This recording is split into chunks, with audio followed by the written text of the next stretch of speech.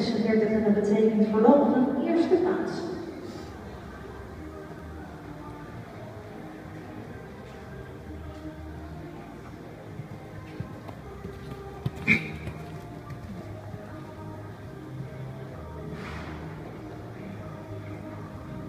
We gaan kijken naar Judith Karuijs met de 7-jarige Mary Dickieville, afstamming van Quasimodo Z.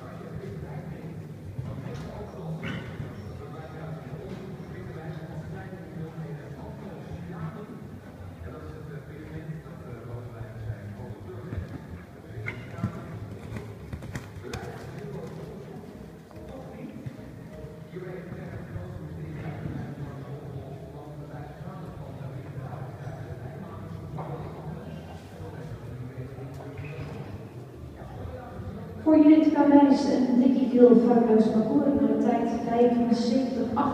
75-48 toegestaan tijdens 5 uur